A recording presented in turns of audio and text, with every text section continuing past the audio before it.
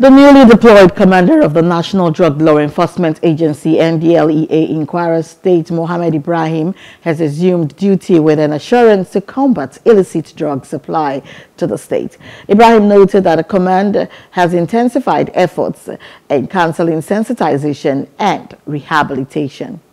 The command has been doing well and they are doing well in terms of uh, drug demand reduction, in terms of sensitization and counseling and rehabilitation.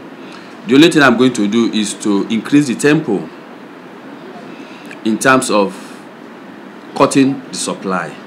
What are we going to be doing differently is to enforce on patrolling the all the entries into Kwara State. We are going to increase our surveillance activities. We are going to do our work based on intelligent-led investigation, intelligent-led operations, strictly abiding by the SOP of the agency. He also maintained that the agency in the state will be engaging community leaders, traditional rulers and opinion leaders and task them on their roles at the grassroots. We are going to take the demand reduction aspect of our job to the grassroots. We are going to be engaging the community leaders, the traditional rulers, the opinion leaders.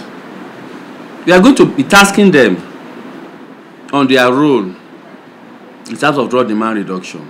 Recently, there has been a new psychoactive substances that is trending now, the nitrogen oxide.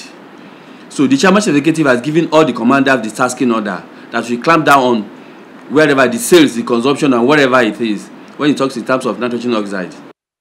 Hello. Hope you enjoyed the news. Please do subscribe to our YouTube channel and don't forget to hit the notification button so you get notified about fresh news updates.